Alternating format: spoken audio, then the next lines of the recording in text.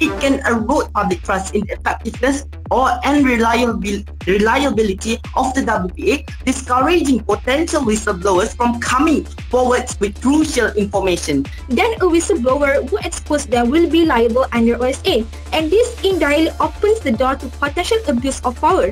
I mean, logically speaking, if someone told you what a family member did wrong, of course you'd want to defend your family first before you see the justifications and whatnot.